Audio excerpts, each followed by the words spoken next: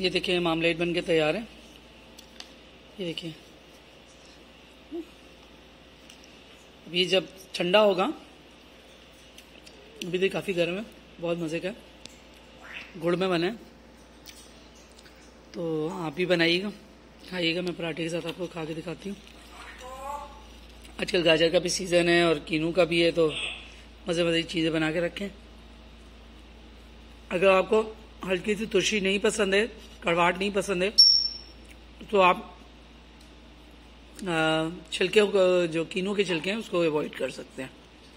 आप भी बनाइए, खाइए एंजॉय कीजिए, मुझे ज़रूर बताइए आपकी रेसिपी कैसे बनी। आइए देखते हैं, हमने कैरेट और मामलेट कैसे बनाया।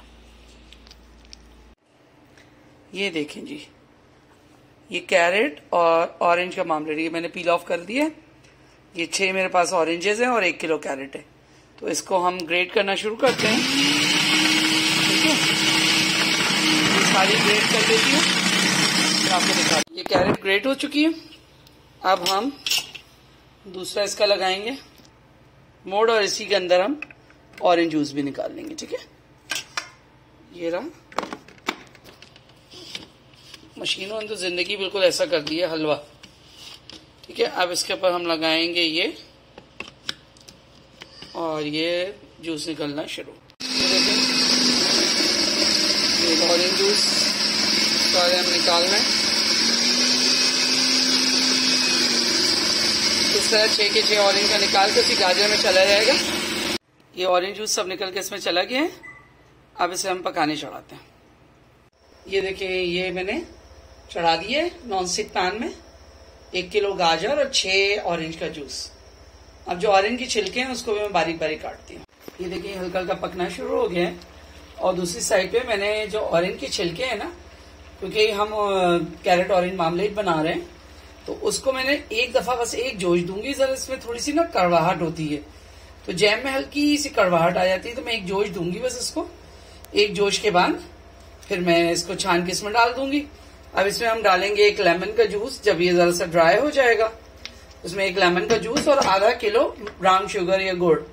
ये मैं मतलब डायबिटिक पेशेंट्स के लिए बना रही हूँ। डायबिटिक पेशेंट अगर इतदाल में इस्तेमाल करें तो गुड़ नुकसानदेह नहीं है लेकिन excess of everything is bad आप कोई चीज़ भी ज़्यादा इस्तेमाल करेंगे वो आपको नुकसान करेगी।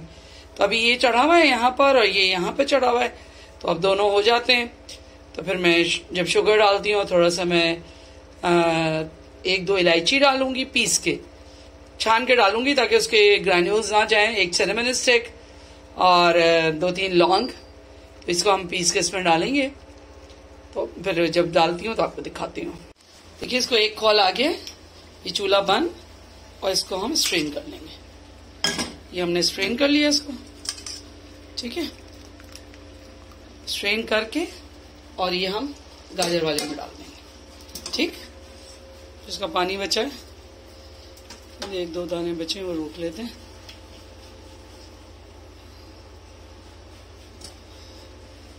ये इसमें डाल दिया। ठीक है अब ये हो रहा है।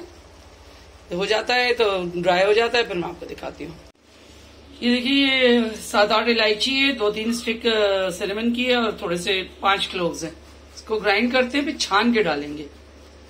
बल्कि मैं कर, ऐसा करती हूँ एक चम्मच चीनी के साथ ग्राइंड कर लेती हूँ तो फिर बारीक ग्राइंड हो जाएगा।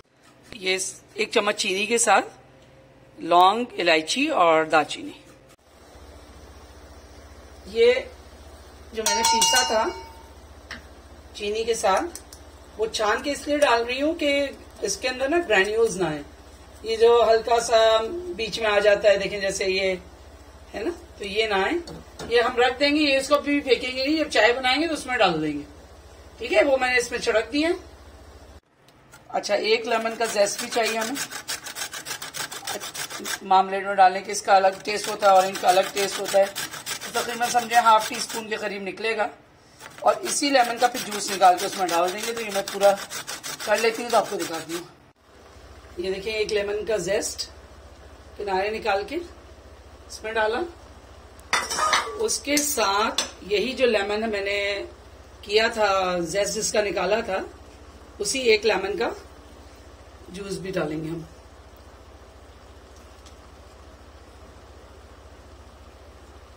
ठीक है? ये हो गया। और दो चम्मच में डालूँगी अरके गुलाब।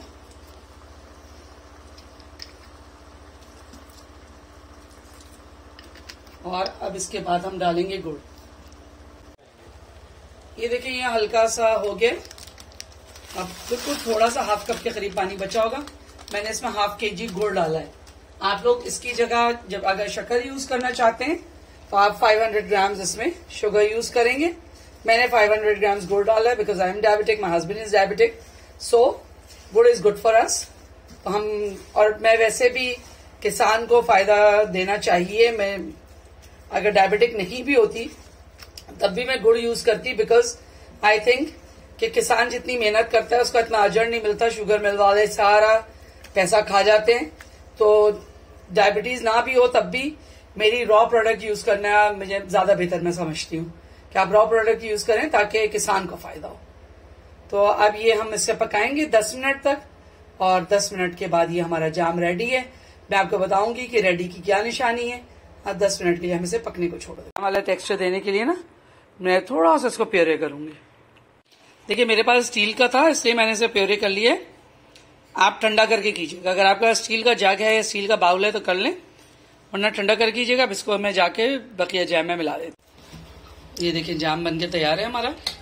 ये देखिए साइड पे ना कोई जूस नहीं आ रहा है। ये बन के तैयार है, ठंडा होके थोड़ा और जमेगा। सही है? तो ठंडा हो जाता है, फिर मैं आपको दिखाता